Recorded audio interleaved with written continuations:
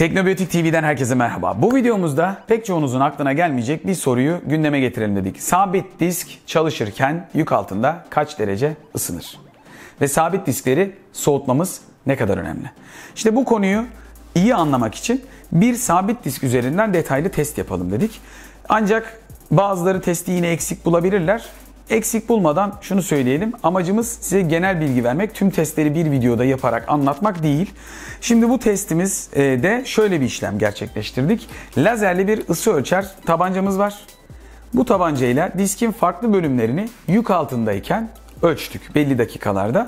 Bu sayede sabit diskin ne kadar ısındığını tespit etmeye çalıştık. Bu işlemi yaparken de docking station olarak tabir ettiğimiz disk istasyonuna taktık diskimizi. Yani USB 3.0 üzerinden kasamıza dışarıdan bağladık.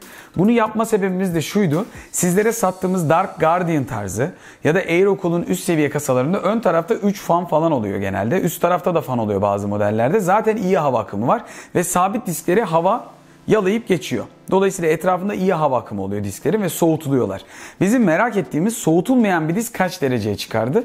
Dolayısıyla bu videomuzda soğutulmuş bir diskin e, sıcaklık değerleri yok. Ama bir disk soğutulmazsa kaç dereceye çıkar bunu görebiliyorsunuz. Şimdi değerleri söyleyeceğiz.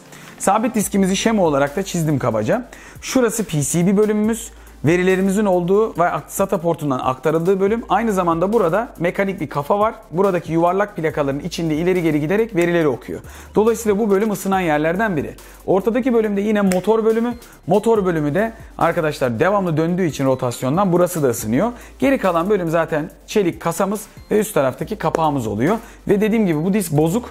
Bu diskin içinde bed sektörler vardı. Biz low level format atalım dedik. Her sektörüne tek tek sıfır yazılması işlemi bir e, tekli format işidir. Yani Windows'ta siz normal hızda format at derseniz quick yani hızlı format dışında bir defa sıfır yazar verilere. Biz bu işlemde low level dediğimiz 3 defa ya da 5 defa sıfır yazmayı seçtik. Her bir sektörüne plakaların üzerindeki sıfır yazarak bed sektörlerimizi temizleyelim ve diskimizi kurtaralım dedik. Maalesef Western Digital'i kurtaramadık. Zaten genelde Bunlarda arıza oranında bir tık daha yüksek olabiliyor bu eski model e, Caviar Green'lerde. Şimdi şöyle bir durum var. Sıcaklıklarımızı ölçtüğümüz değerleri söyleyelim. Başlangıcda motorumuzun arkası 24 dereceydi. Ortam sıcaklığı 24 olduğu için. 25 dakika içinde buradaki orta bölümdeki sıcaklık 35 derece oldu. 25 dakikada 23.8 24 dereceden 35 derece oldu. 11 derece artış oldu. 40 dakikada 40 derece oldu. Tam şu göbek bölümü, motor bölümü. Dolayısıyla ciddi bir ısınma var. Bunun haricinde 90 dakika sonra 43 derece oldu. Zaten biz 90 dakika sonrasında ölçümü bıraktık. Bu işlem 6 saat sürüyor ama sıcaklık değerleri çok değişmedi açıkçası. Hani belli bir yerde de sabitliyor bu. Zaten 24'ten 40, 43'lere 44'lere çıktık. E, yani 45'leri bir tık geçtiğimiz yerler oldu. Ama biz genel olarak 44-45 bandı orta göbekte gördüğümüzü söyleyebiliriz. 3 saatlik bölümünde sonrasında zaten biz bilgisayarın başında değildik. Ee, buradaki PCB bölümümüzde ise sıcaklık başlangıç sıcaklığımız güç geldikten sonra 26 oldu. 25 dakika sonra 37 oldu. 40 dakika sonra da 40 derece oldu. Kafa bölümü burada olduğundan ve sürekli hareket ettiğinden, sürekli de format attığımız için sürekli hareket etmek zorunda.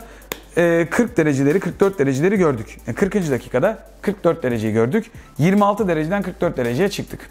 Üst tarafa geldiğimizde burası plakalara en uzak bölüm. Yuvarlak plakalar şu şekilde duruyorlar. Plakalara en uzak bölüm aslında en serin olması gereken bölüm. Burası da başlangıçta 23 dereceydi. Biz 40 dakikanın sonunda burayı 41 derece olarak gördük. Yani şu dışarıyı bile 41 derece görebiliyoruz.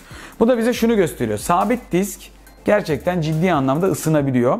Özellikle de low level ya da yavaş format dediğimiz tek tek sıfırların sektörlere yazıldığı işlemlerde. O yüzden en iyisi yapılması gereken sabit diskin karşısında bir fan olması ve havanın altından üstünden ya da doğrudan üstüne doğru gelecek şekilde artık nasıl oluyorsa ya da diskler böyleyse yandan üflemesi hadisesi. Sabit disklerinizi soğutursanız disk kullanım ömrünü uzatmış olursunuz. Sabit disklerin elbette bir yazım ömrü de var plakalara. Bir kafa ömrü de var. Bunlar mekanik disk olduğu için. Ama ne kadar serin tutabilirseniz diskleriniz o kadar güvende olur. Diskleriniz ne kadar güvende olursa unutmayın verileriniz de o kadar güvende olur. Bunu anlatırken şunun da altını çizelim. E, bu videomuzda eksik olarak söyleyebileceğiniz kasa içi test var mı? Yok. İlerleyen dönemde merak edenler videomuzun altına yaptıkları testleri iletebilirler. Belki biz de ekleriz. Her testi yapmak mümkün olmayabiliyor. Hepsi zaman alıyor çünkü. Ama şunu söyleyelim. Dark Guardian ya da Aerocool'un üst sınıf kasalarından Dark'ın biliyorsunuz Unreal serisi, Prestige serisi önünde dev fanları olan kasaları da var. Bunların hepsini inceledik. İyi soğutmalı bir kasa alırsanız sadece ekran kartı ve işlemciniz değil, diğer bileşenlerin de iyi soğuduğunu hatırlatalım. Bu kasa seçiminde de, fan seçiminde de önemli. Daha önce kasa içi hava akımı etkili olarak nasıl sağlanır videomuz vardı. Bu videomuzun sonuna da onu ekleriz. Altında da link olarak bulabilirsiniz. Nerelere fan eklerseniz kasanızın hava akımı ne kadar olumlu etkilenir, hangi yöne fanları konumlandırmanız gerekiyor hepsini anlattık. Eğer eski bir sisteminiz varsa ve disklerinizin de sıcak dokunduğunuzda çalıştığını hissediyorsanız birkaç fan alarak bir veya birkaç fan alarak kasa hava akımını bu videolara bakarak düzeltebilirsiniz. Fanları videomuzun altındaki linkten teknobiyotik.com'dan bulabilirsiniz.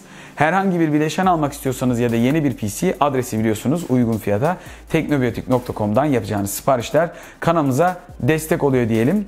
Bunları da hatırlattıktan sonra bir sonraki videomuzda görüşmek üzere. Hoşçakalın.